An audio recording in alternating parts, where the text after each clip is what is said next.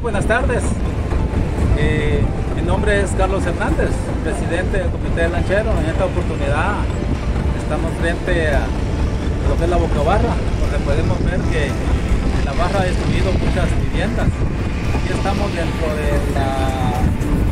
de las viviendas que últimamente, últimas semanas destruyó.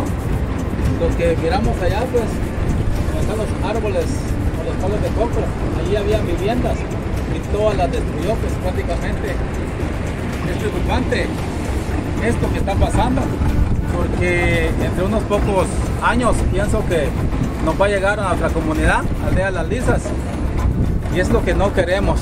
Entonces le hacemos un llamado a las autoridades que nos apoyen para que esta barra sea estabilizada y así poder tener este, más tranquilidad los pobladores, nosotros como pobladores de la comunidad Aldea Las Lisas. Estos, estos pozos que ven eran pozos mecánicos, donde algunos chaleteros tenían su chalet y ahí tenían sus pozos mecánicos como agua potable. Podemos ver, habían cuatro pozos mecánicos, ahorita solo podemos observar dos, están ya dentro de la barra, dentro del agua. Estaban aproximadamente como unos 3 kilómetros de, la, de retirado de la, de la. Y mire, ahora los tenemos ya en el agua. Prácticamente es preocupante pues que cada, cada, cada año se nos va encimando más y más la boca barra hacia nuestra comunidad. Así que nosotros como vecinos pues pedimos el apoyo a las autoridades y qué bien como el gobierno central que nos, que nos apoyen en esta situación tan difícil. Podemos observar, viene una embarcación allá ahorita, corren también mucho peligro, aquí han habido muchas embarcaciones que, se han hundido, incluso compañeros eh, lancheros han perdido la vida por la causa de que la barra pues no está no está en un solo lugar, siempre trata de, de moverse de un lugar a otro. Ahí va el compañero saliendo del mar. Podemos observar varias, algunos de las familias, integrantes de las familias eh, de Aldea Las Lisas, este, que son afectados por el socavamiento de la barra del Giote que hace algunos años pues no llegaba hasta aquí hoy ya ha abarcado más de dos kilómetros, afectando a varios de los vecinos que se hacen presentes. Un saludo para todos los visores de la página Placeta cerca de ti CS Noticias. Hoy nos encontramos con don Eric Galeano, vecino y residente de Aldea Las Lisas.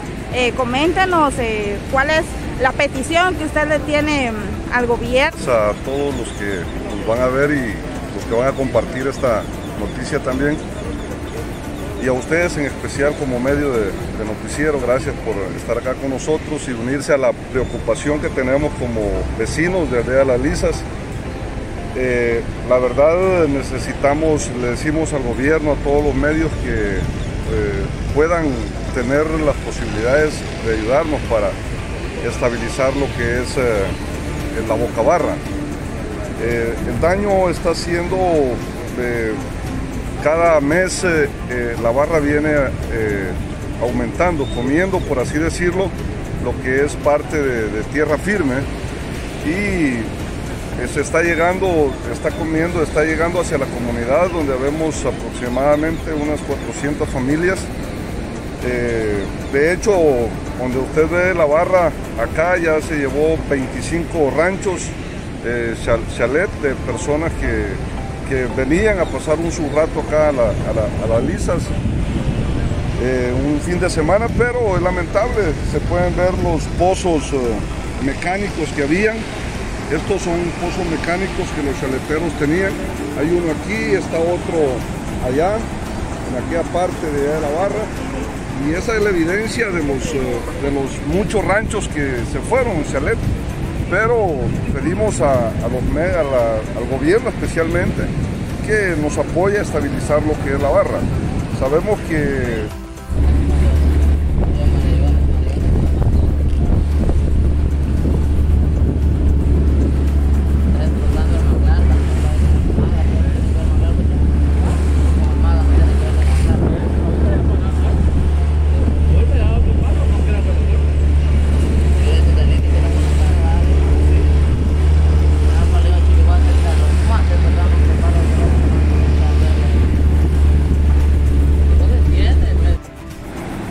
nombre es Ernesto Carrillo, soy presidente del POCO de Aldea Las Lisas y aquí estamos a sus órdenes. Presidente Yamatei, al ministro de Comunicaciones, al ministro del MAGA, al director de Conred, a los diputados, que por favor nos apoyen. Como pueden ver, esta es una gran problemática que ya la barra pues, se corrió 2.500 metros, imagínense. Quiere decir que en un par de años nuestra aldea pueda desaparecer. Así es que, señor presidente, por favor, apóyenos. Sabemos que es una inversión algo grande, pero con esfuerzo, señor presidente, podemos lograrlo. Acá la única forma es estabilizar la barra. De otra forma, señor presidente, no se puede. Así es de que hacemos un llamado, como pueden ver, aquí andan niños, ancianos, jóvenes, eh, apoyando porque estamos preocupados. La verdad, la verdad es que en nuestro país siempre he dicho yo que hasta que no tomemos medidas de hecho no nos escuchan y estamos decididos a, tomar todas las, las, disposiciones que sean necesarias para que nos escuchen. Ir a parar carro, no queremos ir a hacer huelga, pero si no nos escuchan definitivamente vamos a tener que hacerlo. ¿Cuántas son las familias aproximadas que se ven afectadas por el socavamiento de la barra del Quiote? Ah, señor, aquí tenemos en nuestra aldea tenemos 515 familias que son afectadas.